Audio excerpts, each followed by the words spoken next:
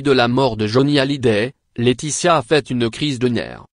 Laetitia Hallyday savait pourtant que les jours du rocker étaient comptés.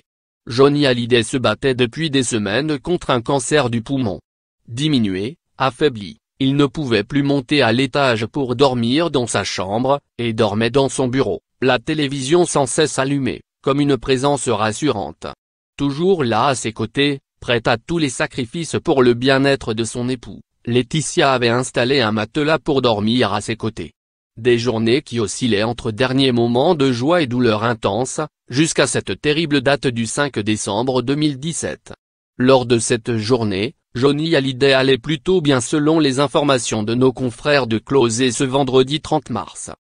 Mais tout a basculé vers 22 heures, quand le rocker a voulu rejoindre ses amis présents à Marne-la-Coquette et qu'il a tenté de monter sur son fauteuil roulant. Il prend place sur son siège.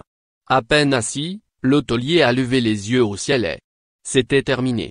Les médecins présents à ses côtés ont tenté de le ramener à la vie mais en vain l'idole des jeunes s'en est allé à l'âge de 74 ans. Une déchirure pour Laetitia Hallyday qui n'accepte pas la mort de son époux. La mère de Jade et Joy est au bord de la crise de nerfs et ne tient plus sur ses jambes, tant sa peine est immense.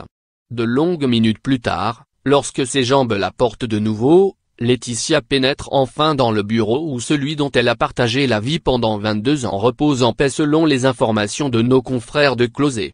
Bouleversée, Laetitia Hallyday mettra du temps à retrouver ses esprits, trop éprouvée par le départ soudain du taulier. Elle pleurera longuement à son chevet.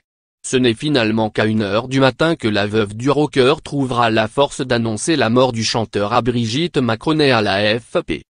Crédit photo, Abaca.